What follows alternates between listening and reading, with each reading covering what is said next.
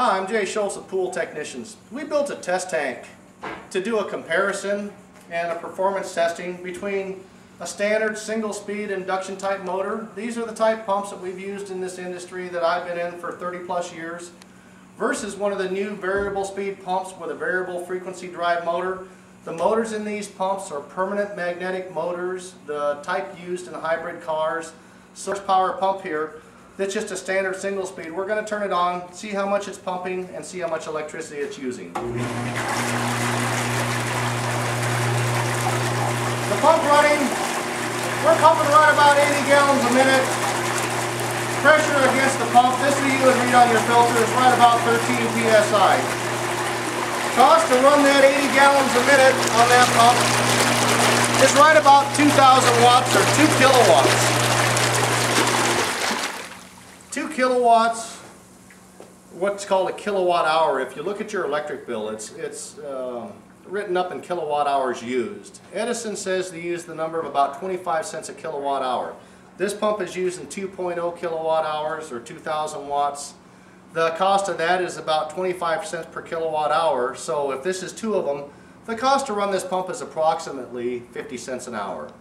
If you have a pump like this and you're running the pump eight hours a day, that's approximately $4 a day that you're paying in electricity to run your pool. When you multiply that times 365 days a year, you probably come up somewhere 13, 1400, some plus dollars a year in electricity just to circulate your pool pump. Okay, let's see what the new variable frequency drive pump is going to do without any performance loss and pumping the same 80 gallons per minute. Oh.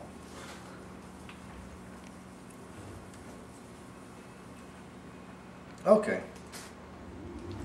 Get her up to 80 gallons a minute. So again, flow meter's about the same. We've got about 12, 13 psi here. Should be the same. Now, how much electricity are we drawing without sacrificing anything? 1.66, 1,660 watts. So we're saving 340 watts just because this type motor is more efficient. But where the real savings come in is when we start throttling the motor down. We went from 80 gallons a minute, now we drop it to 60 gallons a minute. We drop our pressure a little bit more. We're pumping right now three quarters the amount of water that we were pumping originally. But how much were we pumping it for?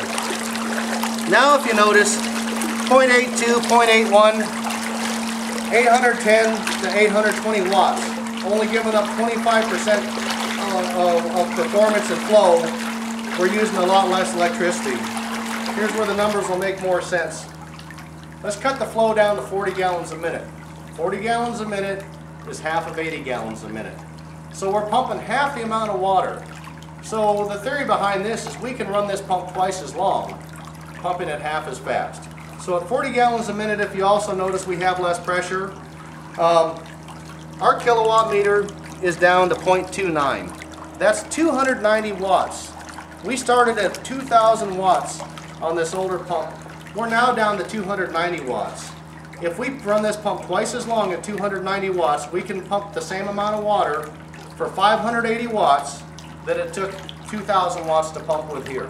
So this is where getting a 50 to 70% savings is very doable and very easy with these pumps just by cutting the speed down and running them more hours. If we cut down to one last lower speed, we're at about 20 gallons per minute right now. If you notice at 20 gallons per minute, I don't know if you can hear the pump running or not, but they just get so quiet and they just get so efficient that they just hardly make any noise at all. Now at 20 gallons a minute on our meter, 0.07.